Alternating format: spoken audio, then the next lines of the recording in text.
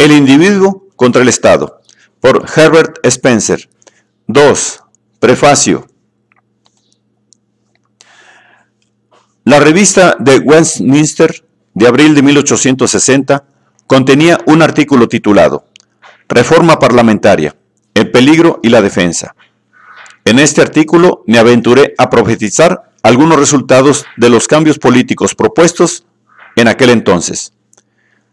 Reducida a su expresión más sencilla, era la tesis mantenida por mí, que si no se tomaban las precauciones debidas, a un aumento de la libertad aparente seguiría una disminución de la libertad real.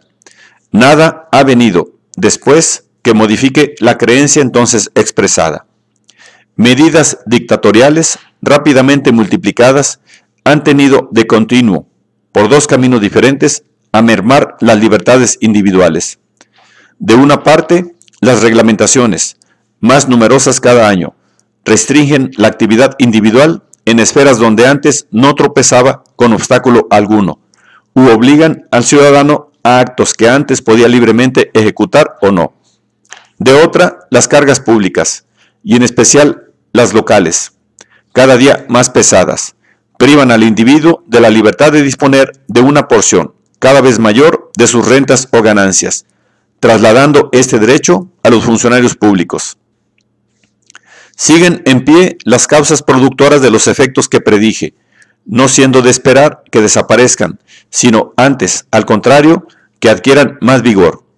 Y como lo que acerca de ellas y de sus resultados expuse ha recibido la confirmación de la experiencia, creo que debo sentar conclusiones análogas respecto a lo porvenir y hacer lo poco que esté en mi mano para llamar la atención sobre los males que nos amenazan.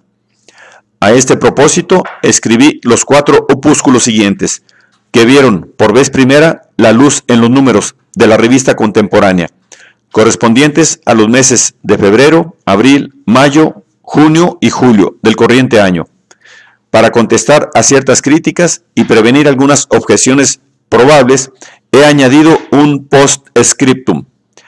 Basewater, julio de, 1884.